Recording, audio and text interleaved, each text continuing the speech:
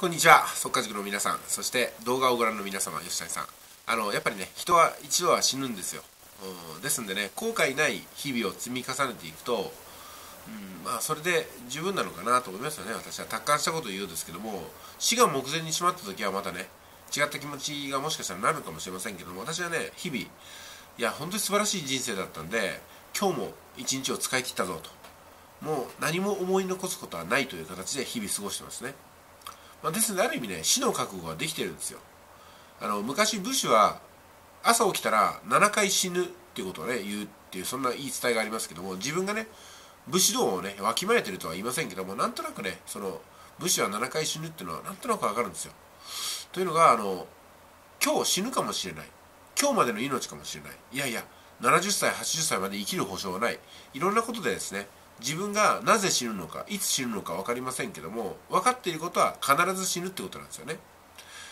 でそう思ったら10歳で死ぬ人もいるし20歳で死ぬ人もいるってことを考えたらそれに比べると私は、ね、付け出しの人生を送らせてもらってるんですよ。でそう考えることによってあの後悔ない一日を積み上げたいなというふうな気持ちは私はね非常に募ってるんですよね。で多分誰よりも私はねそういうところに今向き合ってるのかなというふうに思うんですよ。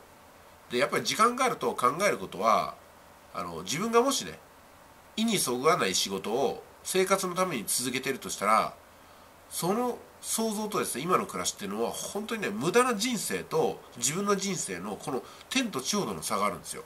確かに何かの仕事をすれば一定の高揚感とかねやりがいは得られるでしょう。でもおそらくですけども私は今のように子供とね奥さんと家族ってものをみっちりと24時間そばに抱えて、まあ、両親のね、えー、対話をして全ての人と和解をしてで誰に対してもうん、まあ、自分のねまっすぐな気持ちで忖度なくそれこそ利害関係なく付き合っていけるみたいなことはできなかったと思うんですよ。で私がね今思うのはこれが自分の本性かと思ってるんですよ。あなるほど自分が求めてるものはこれで自分はこういうところに怒りを感じたり悲しみを感じるんだなと思うんですよね。会社に勤めてるわけでもないですし部下や従業員がいるわけでもないと。この一人で生きるということが本当に最強だなと思ってるんですよ。私には少なくとも合っていますね。でそれで思うんですけどもやっぱりね精神っていうのはものすごく行動とかあ結果にね影響を及ぼすなってもう吉谷さんと本当に同じような気持ちなんですけども今の精神状態だとどんな結果もどんな最悪の結果も受け入れることができますし百戦して百勝ってわけにいかないなとも思いますし、うん、ある意味ねあの勝ちを譲るっていうポイントもできるんですよ。絶対勝たないといけないもんでもないんだったらものすごく頑張ってる人に席を譲ってあげたいなという気持ちですよね。例えばスーパーマーケットコンビニ行く時に車で行くんですけども向こうからも同じペースで車が来た時にわざとゆっくりしてあげて相手がね止まった後で自分が空いたところに入るみたいなこともできるんですよ。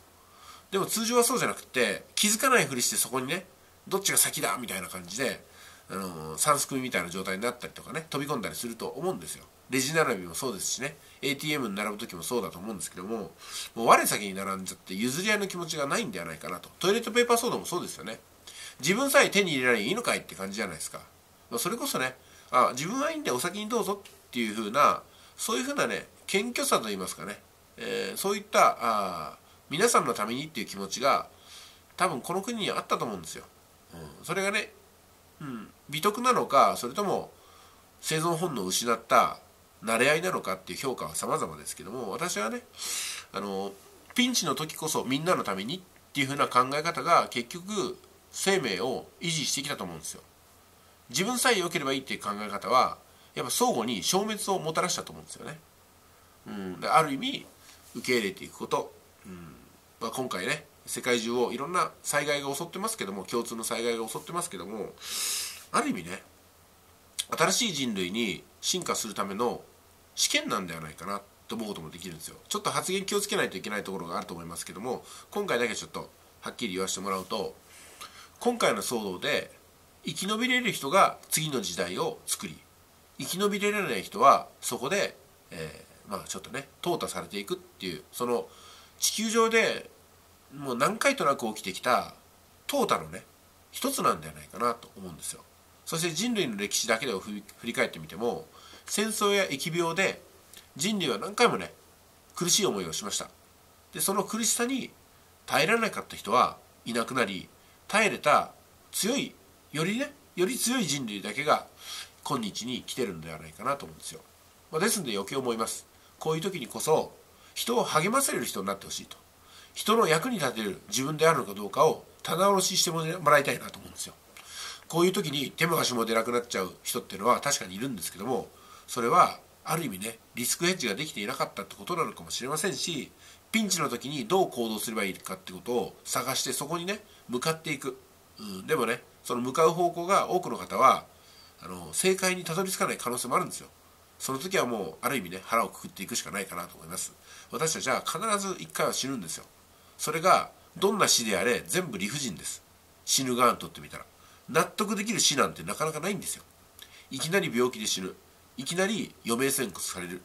いきなり死をね目の前に突きつけられてもうやり残したことがたくさんある。そんな人生ばかりなんではないかなと思うんですよ。ですから私は生きてる間に全てをね自分のミッションの全てを見つけてやっていく。で最高なのはもうなんかね暇である毎日ですよ。やり尽くしたな暇だなみたいなね、うん、暇だからまあ人の悩み聞いてみようかなとか人の悩みを解決することに一生懸命になってみようかなみたいなね。暇その自分の暇を自分の大切だと思うことに日々全力で立ち向かっていけるみたいなね、うん、そんな人生を夢見ております。忙しさに折りまくられて自分のするべきことすらねできない。部屋の掃除もできない。親の介護看取りもできない、うん、ちょっと苦しいなと思いますよね、うん、まあでも皆さんにね本当にお役に立てるような情報発信ができればと思って今日もこうやって億万長者合宿の動画をお送りしております。ここまで見ていただいてありがとうございました。ちょっと表現がね拙いところがあってもしかしたら人をやっぱりね傷つけているかもしれません、えー、次回からまたねしっかりと儲けのことについてお話していこうかと思いますんで今回はこの辺でご容赦くださいませ。では失礼します。